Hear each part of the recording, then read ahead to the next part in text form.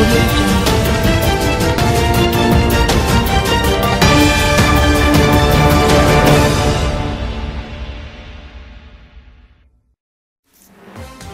ียกได้ว่าเป็นอีกหนึ่งบุคคลต้นแบบที่น่าจับตามองมาก ๆ เลยแหละค่ะสำหรับแม่ป๋อมพัสสีสีแพงมน ผู้บริหาร Milin Baby Fashion ที่มาพร้อมกับ VP ของแบรนด์ Milin Baby Fashion ที่ล่าสุดได้รับการคัดเลือกเข้ารับรางวัลคัชสีสิงคาเดชาครั้งที่ 2 ประจำปีพุทธศักราช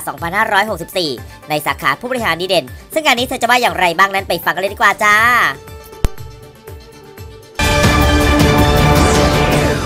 ใจและเป็นเกียรติอย่างมากค่ะ ที่ได้ร่วมรับรางวัลโคชสิงห์สาขา ผู้บริหารดีเด่นค่ะ แล้วก็วันนี้ได้พาน้องๆอ่า VIP จากทางแบรนด์แล้วก็ผู้ปกครองมาร่วมรับรางวัลด้วยค่ะ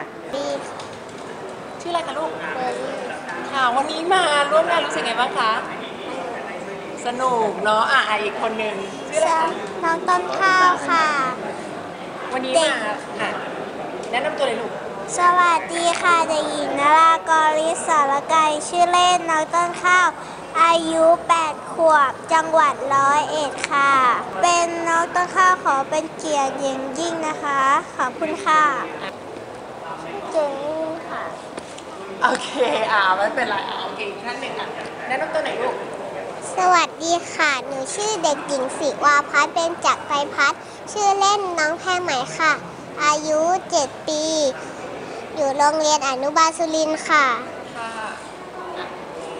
สวัสดีค่ะ หนูชื่อเด็กหญิงนันทิชาอินทังชื่อเล่นชื่อน้องอินดี้ อายุ 9 ปี เรียนอยู่ที่โรงเรียนมหาไทยศึกษาเลย จังหวัดเลยค่ะ จะลืมฝากผลงานค่ะ อินดี้ฝากผลผลงานอะไรกันฝากผลงานน้องอินดี้ขอฝากผลงานภาพยนตร์นาคีทวีภพถ่ายทำกลางปีนี้ค่ะ และขอขอบคุณ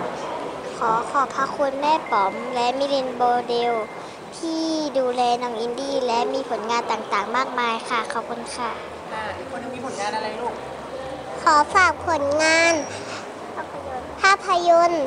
นาคีทวิภพด้วยค่ะ ขอบคุณค่ะ ปัจจุบันนะคะแบรนด์ Milin Baby Fashion นะคะมุ่งเน้นกิจกรรมเพื่อฝึกเด็กๆ เยาวชนรุ่นใหม่ค่ะ ให้กล้าแสดงออกค่ะ ตอนนี้เรามี Milin Model ซึ่งเป็นอีกบริษัทหนึ่งค่ะ ซึ่งเน้นการประกวดค่ะ ตอนนี้ก็จะมีที่เพิ่งเพิ่งจบไปที่จังหวัดอุดร ก็จะเป็นประกวด Milin Model Contest ค่ะ น้องๆ ส่วนใหญ่ก็ได้รับรางวัลจากเวที Milin Model Contest ค่ะ ที่ได้รับคัดเลือกเข้ามารับรางวัลในวันนี้ค่ะ แล้วก็วันที่ 30 พฤษภาคม เราจะมีประกวด Young Grand อุดรธานีค่ะ เป็นเวที Miss Grand ของรุ่นเล็กอะค่ะค่ะ แล้วก็จะมี Young Grand ร้อยเอ็ดด้วยค่ะ สำหรับผู้ปกครองคนไหนที่สนใจอยากให้บุตรหลานเข้ามาฝึกกับแม่ป๋อม สามารถติดต่อได้ที่ Facebook Milin Baby Fashion ค่ะ แล้วก็ Milin Model ค่ะ Audio Jungle.